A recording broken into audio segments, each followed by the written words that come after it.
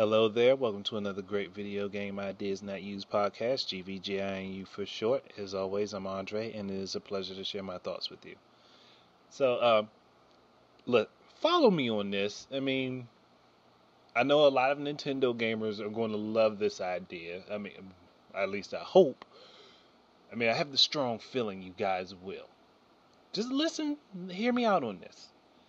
Okay, I kind of hinted at this type of move in a prior podcast um, that Nintendo should go ahead and kind of help Capcom out a bit.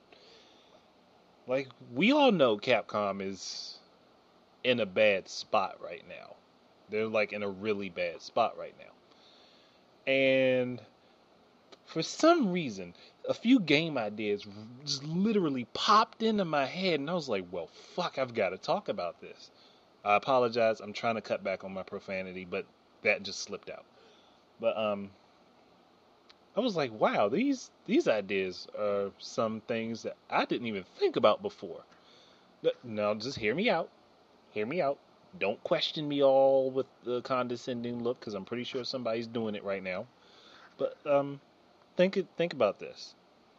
If Nintendo went into like maybe a 3-year long exclusivity contract with Capcom, they could produce majorly awesome games. And as well as revive a few series that have, as we know, pretty much dropped off the face of the earth. Now, like I said, you just got to hear me out on this. You really got to like listen to these thoughts. Now, the next Smash game has Mega Man in it. And I mean, this kind of crossed my mind briefly before.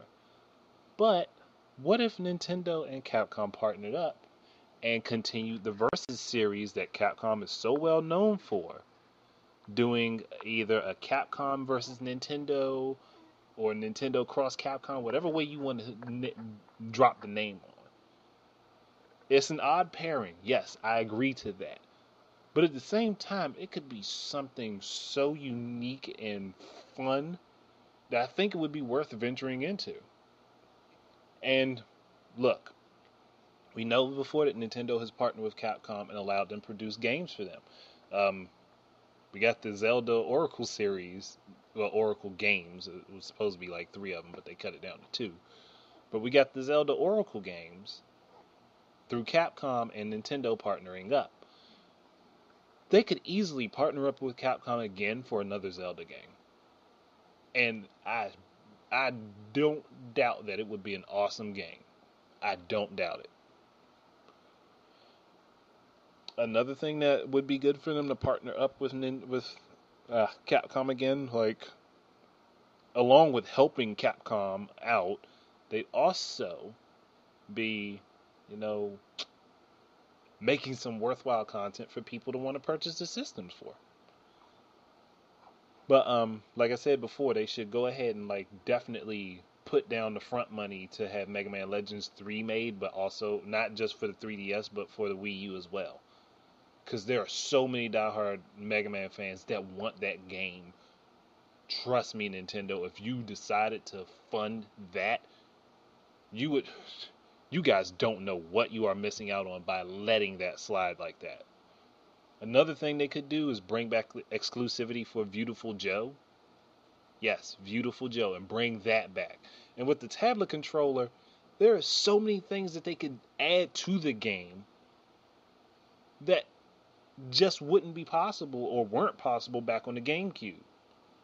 I'm sorry, the gamepad has a unique advantage where you can add so many things to it that it's amazingly bland that they're letting these opportunities fall short. I would love to see Beautiful Joe appear on the Wii U. I'm sorry, I'm just that type of person. I want to see it.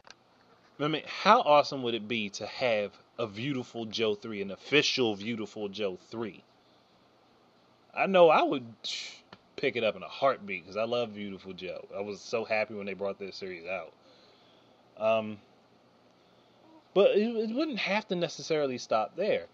If anybody's listened to my um, my redo my GVGINU redo podcast for Dino Crisis, that would be an awesome game to go back and do a full scale remake of.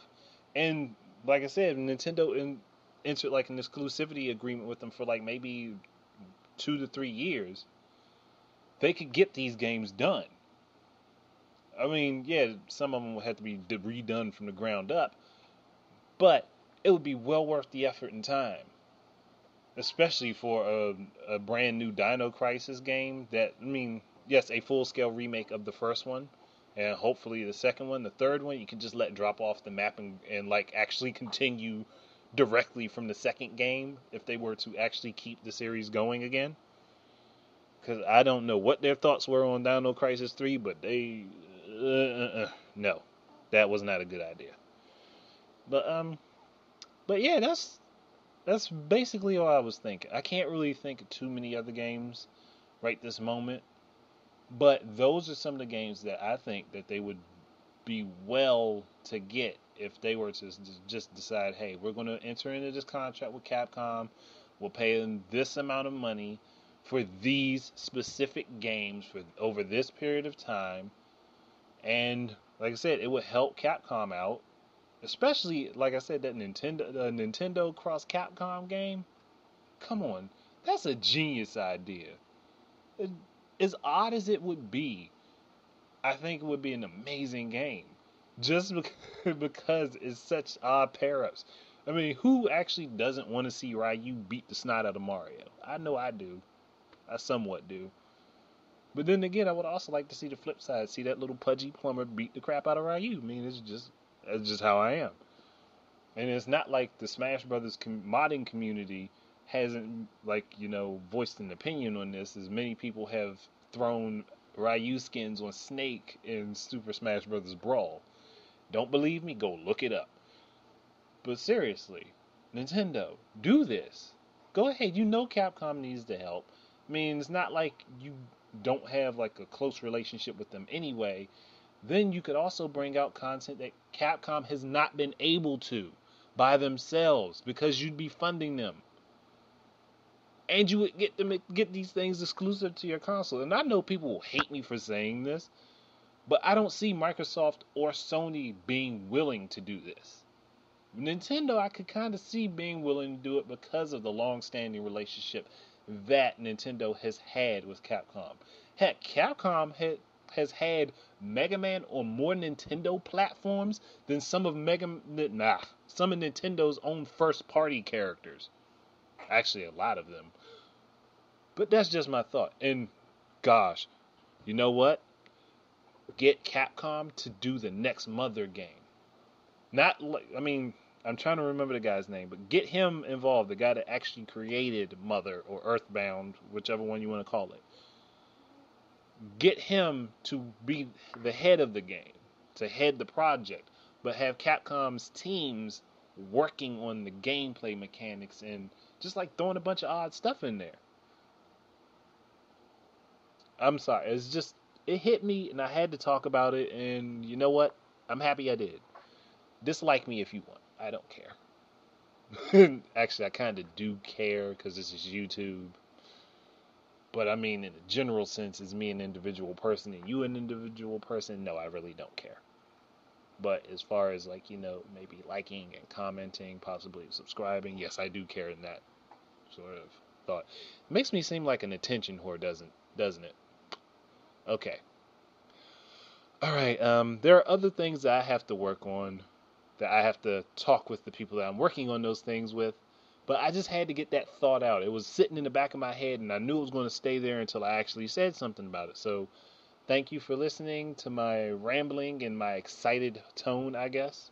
Especially after the last video that I just uploaded. Uh, yeah, I can. Thank you for listening. Keep your eyes and ears out for more of my stuff. And until the next time, enjoy your game.